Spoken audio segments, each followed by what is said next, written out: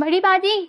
हाँ यार ठीक है। क्या हो गया, बाजी मरियम? को पुलिस ने पकड़ लिया है। आप जल्दी से टीवी देखें। जी। तुम्हें सबने मना किया था ना रामीन? अब देखिए अपनी हमदर्दी का नतीजा। ये सब कुछ तुम्हारी अपनी बेवकूफ़ी की वजह से हुआ है। अरे ज़रूरत क्या थी? पराई लड़की को घर लाने की। मैंने दो तीन लॉयर से बात की है।